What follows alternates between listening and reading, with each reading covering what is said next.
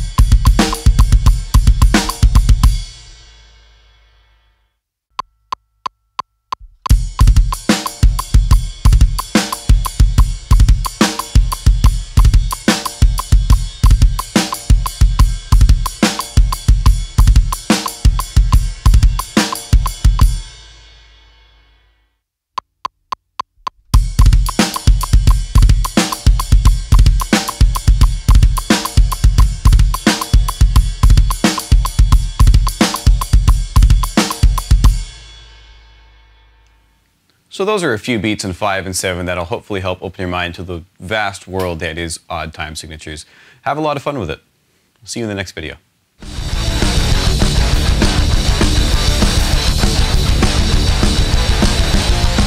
Move over top of it. How do we do that? Well, left hand. Crap! So we're gonna go through five or six different patterns. Why did I say five or six? Uh, I guess I'll start over. We'll be focusing on playing in 7. 7 is actually... Eh, no. Um, oh, I had something really good there too. Shoot.